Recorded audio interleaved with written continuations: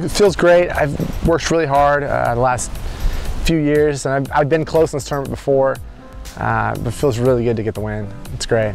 Um, I played really beautifully the first round.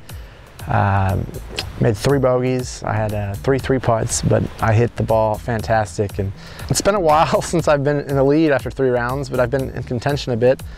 But I, I felt good. I hung in there all day and stayed tough and made a couple birdies down the stretch, which was uh, really, really huge.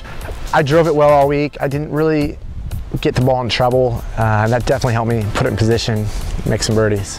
It took a lot of the pressure off after that. I was able to just hit it out there on the right of the green. I knew I could two putt, I figured to win, but uh, that was a lot less stressful than it had to be, which made it a little easier for me. Uh, but it's nice, it's nice to win more than anything. That, that's the best part.